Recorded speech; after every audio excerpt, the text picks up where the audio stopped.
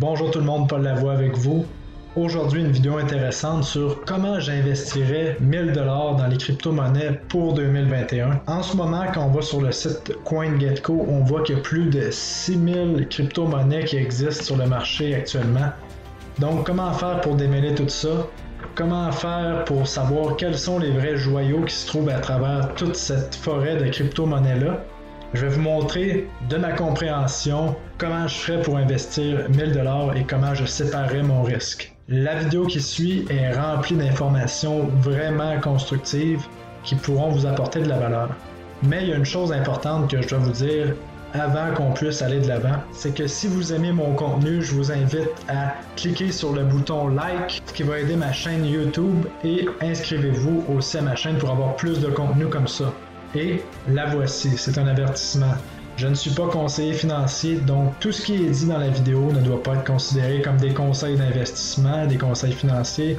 L'information contenue dans la vidéo doit être utilisée à des fins de divertissement. Même s'il y en a plusieurs qui pensent que je suis conseiller financier, je ne le suis pas, donc faites votre propre opinion en faisant vos recherches et consultez votre conseiller financier avant de faire des investissements en devises digitales donc, maintenant que c'est dit, passons au sujet intéressant. Comment j'allouerais 1000 dollars en crypto-monnaie? Voici le tableau que j'ai fait pour vous. Donc, comme vous voyez ici, j'ai fait un tableau où on passe du moins de risque jusqu'à plus de, le plus de risque. Donc, si j'ai 100% de mon portefeuille, je le diviserai de la façon qu'on voit ici. 5% dans des devises fiduciaires stables, 60% dans des crypto-monnaies de base, 25% dans des cryptos plus solides, des compagnies plus solides, mais pas dans les plus grosses, puis 10% dans les compagnies plus spéculatives. Je vous explique pourquoi. Plus on a de risques, plus on a de gains potentiels assez massifs, comme on a vu dans tous les marchés aussi de crypto-monnaies. Les, les, compagnies les plus spéculatives, il y en a qui vont vous défoncer complètement, que vous allez perdre tout votre investissement. Mais on a vu des fois 100, des fois 200, des fois 1000 même. Donc, il ne faut pas négliger ces investissements-là, mais il faut aller avec une moins grande partie de son portefeuille. Puis, si on va dans les crypto-monnaies de base, il y a moins de gains, mais on a des gains probablement assez constants qui viennent dans la prochaine montée parabolique. Je vous invite à voir mon vidéo précédent si vous voulez comprendre dans quel cycle nous sommes pour 2021. Donc, commençons du côté gauche du tableau. De mon côté, je vais garder 5% de mon portefeuille en devises fiduciaires ça, ça veut dire que soit je les garde en dollars, en euros ou en cash. Ça, c'est quand on veut sortir du monde des crypto-monnaies, quand on a fait des gains pour cristalliser les gains ou acheter des choses qu'on voulait depuis longtemps. par exemple, la dernière Tesla ou euh, une maison ou des choses comme ça, peu importe. Mais dans le monde des crypto-monnaies, on veut rester en stable coin, au moins 5% de notre portefeuille. Là. Donc USDC, TUSD, DAI, c'est des exemples de crypto-monnaies qui suivent à la lettre le dollar américain. Là, vous vous demandez pourquoi gérer en crypto pour avoir 5% en monnaie qui suit le dollar américain? Ben, c'est simple, c'est parce que les crypto-monnaies, c'est très volatile, puis on veut toujours avoir de la dried powder, donc en français de la, poudre à canon sèche, prête pour investir quand il y a une correction assez massive sur les crypto-monnaies. Nos stablecoins, en fait, quand il y a une montée parabolique des crypto-monnaies, on veut tranquillement sortir des gains et en mettre en devise fiduciaire ou en stablecoin. Maintenant, parlons des crypto-monnaies de base. 60% de mon portefeuille est concentré là-dedans. Si vous êtes débutant en crypto-monnaie et que vous ne voulez pas trop vous casser la tête, le plus simple, selon moi, c'est d'aller en Bitcoin et en Ethereum. C'est les deux plus simples. On le sait qu'ils vont être là pour très longtemps, puis on sait qu'il y a un intérêt institutionnel assez incroyable en ce moment.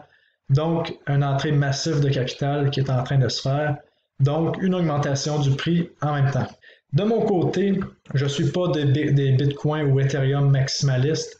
J'aime mieux séparer mon risque. Donc, si on regarde euh, la façon que je fais ça, je mets 60% de mon portefeuille dans les crypto-monnaies qui ont en haut de 1 milliard de market cap et dans les leaders de catégorie que je vais vous expliquer un petit peu plus tard dans les vidéos parce qu'en crypto-monnaie, il y a plusieurs catégories comme le gaming, la finance décentralisée, les assurances, les monnaies, les monnaies privées. On va regarder ça ensemble un peu plus tard, mais on va aller dans le leader de chaque catégorie parce qu'on sait que lui va rester en place. Puis détrôner le leader, c'est toujours plus long. Puis d'aller dans les crypto-monnaies de haute capitalisation, c'est que c'est très liquide comme marché. Fait que si on veut vendre, acheter, ça se fait de façon très simple et euh, sur les exchanges. Il y a 25% de mon portefeuille que je mets en compagnie ou en crypto-monnaie que je considère solide. Donc, euh, comme Theta, Reserve Right Token, Ocean, Protocol. Le market cap se situe entre 75 millions et 1 milliard de dollars US. Quand je parle de market cap, on peut le voir soit sur euh, le site web CoinMarketCap ou CoinGetCo. On va aller faire un petit tour ensemble à l'instant, juste une petite parenthèse de 15 secondes. On est sur CoinGetCo en ce moment. Donc, où est-ce qu'il faut regarder? C'est ici, capitalisation de marché. Vous voyez le Bitcoin 348 milliards, l'Ethereum 65 milliards. C'est là qu'on voit la capitalisation de marché et c'est là qu'on peut baser nos investissements pour voir est-ce que c'est une grosse crypto ou une petite crypto-monnaie. Revenons au tableau maintenant. Donc, qu'est-ce que je veux voir? C'est une équipe de développement solide, un projet qui apporte une solution à un problème réel, qui apporte une réelle innovation. Puis souvent, c'est dans le top 3 de sa catégorie.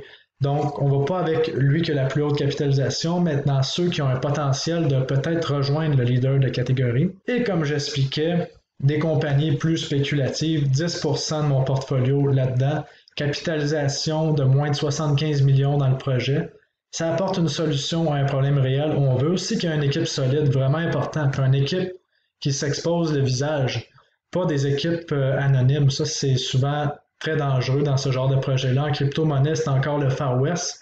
Puis on, voit encore régulièrement des gens qui se font prendre tous leurs fonds en ayant investi dans des crypto-monnaies que finalement c'était des équipes anonymes et c'était des fraudes. Là, je vais vous parler de quelques catégories dans les crypto-monnaies. J'en ai sorti 16, il y en a plus que ça, mais c'est ceux qui m'intéressent le plus. Donc, on a les réserves de valeur. Donc, dans ma tête, c'est le Bitcoin. Les monnaies, on a XRP, Litecoin, XLM, Bitcoin Cash, que c'est toutes des monnaies qu'on va pouvoir utiliser pour acheter notre café, euh, utiliser euh, pour acheter sur Amazon, sur PayPal éventuellement.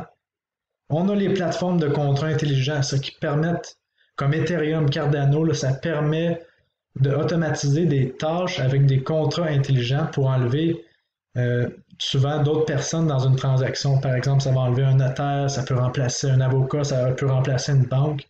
Ces plateformes-là sont là pour rester. On a la finance décentralisée qui va être vraiment le gros thème en 2021.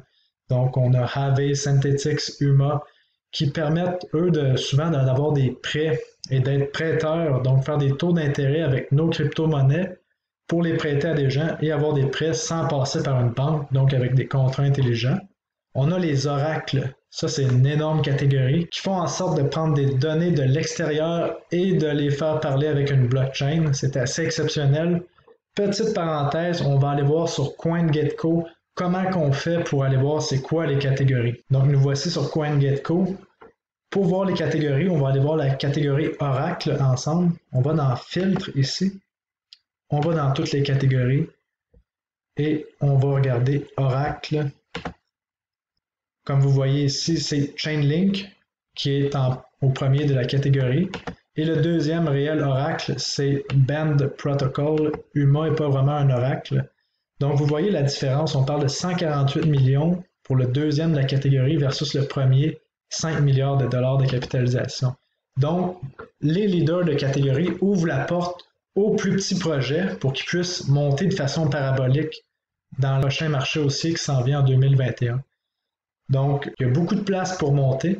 Et là, il y a plusieurs autres oracles dans la catégorie qui sont assez intéressants comme DIA, API3, Teller, qui sont toutes des oracles qui vont pouvoir monter probablement plus en pourcentage de gain que Chainlink dans la prochaine montée.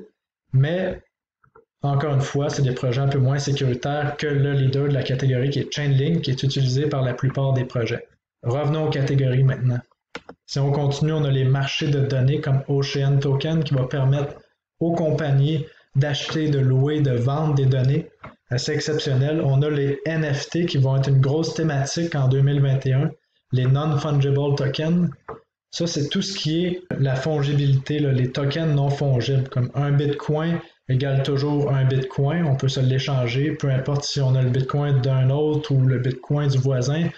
Ben, ça reste un bitcoin. Mais les NFT, c'est des tokens uniques. Par exemple, dans un jeu vidéo, si vous avez une épée spéciale, eh bien, elle peut être tokenisée et cette épée-là va être à vous seulement sur, dans toutes les épées qui existent dans tous les jeux. Et c'est ce qui m'amène à la catégorie gaming qui va être étroitement liée au NFT. Donc, vous allez pouvoir utiliser, par exemple, une épée dans un jeu que vous avez acheté, vous allez pouvoir utiliser la même épée dans un autre jeu. C'est assez exceptionnel ce qui s'en vient pour les gamers dans le futur. Et aussi, les NFT vont permettre euh, de tokeniser, par exemple, des œuvres d'art, des immeubles. Et pour les investisseurs qui ont un petit peu moins de sous, vont pouvoir partager ensemble le prix d'un investissement et investir ensemble. Donc, Engine pour les NFT, UOS pour le gaming. Maintenant, les autres catégories, on a les assurances, comme la compagnie Nexus. En termes de crypto-monnaie, à quoi ça sert? C'est d'assurer des prêts qui sont dans des contrats intelligents parce que parfois il peut arriver des bugs ou des pirates informatiques qui viennent voler l'argent que vous storez dans un contrat intelligent pour un prêt, par exemple. Donc, Nexus permet d'assurer ce genre de contrat-là sur la blockchain. Le partage de données, ce qui va être énorme, Tether, qui permet d'utiliser la bande passante de votre ordinateur que vous n'utilisez pas par quelqu'un d'autre qui va pouvoir louer la bande passante. Ça va faire une économie partagée de partage de données. Donc, à pas négliger cette catégorie-là. Et Theta est excellent.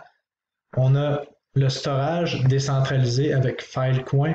Donc, tout ce que je vous dis là, c'est des, euh, c'est une mine d'informations, une mine d'or d'informations qui va vous permettre de faire des choix plus éclairés quand vous allez vouloir investir. La chaîne d'approvisionnement, c'est tout ce qui concerne le suivi des marchandises. Par exemple, vous achetez un poisson qui vient du Japon. Avec VeChain, on va pouvoir mettre une puce dans l'emballage et voir, par exemple, si pendant le transport, est-ce qu'il y a eu une augmentation de la chaleur du poisson ou bien resté à la température qui devait être. Donc VeChain avec le Internet of Things va permettre de faire ça. On a les monnaies privées, bien sûr, qui permettent d'avoir aucune trace euh, nulle part. Donc Monero et Dash, vraiment intéressant aussi. Les échanges centralisés et décentralisés qui permettent d'échanger vos crypto-monnaies. Ils ont des tokens aussi, que souvent la valeur de ce token-là varie selon l'utilisation de la plateforme. Ben, Binance c'est le plus gros centralisé, c'est le plus gros exchange centralisé. Puis Uniswap, c'est le plus gros exchange décentralisé, donc c'est les leaders de leur catégorie.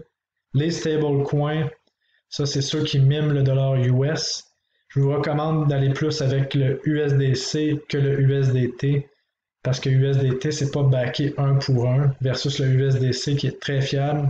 TUSD aussi, puis le DAI est très fiable pour mimer 1 dollar US. Donc maintenant, si on conclut la vidéo d'aujourd'hui, on voit clairement qu'il y a une façon de diviser son risque dans les crypto-monnaies avec les catégories en utilisant les leaders de catégorie et en gardant toujours une partie de sa capitalisation en valeur refuge, donc en dollars US. Et ce qui est important, c'est d'avoir un 10% de son portefeuille qui est toujours prêt, selon moi, pour les petits projets. Donc, dans une prochaine vidéo, je vais vous montrer comment rebalancer ses portefeuilles quand on a eu certains gains ou même certaines pertes. Si vous avez aimé la vidéo, mettez un like sur la vidéo, abonnez-vous à la chaîne. Puis, il y a d'autres contenus intéressants comme ça qui s'en viennent sur la chaîne. Et si vous êtes intéressé à une formation pour apprendre comment rentrer dans le monde des crypto-monnaies facilement, n'hésitez pas à consulter mon site web cryptoformation.ca. Donc, on se revoit dans une prochaine vidéo. Salut!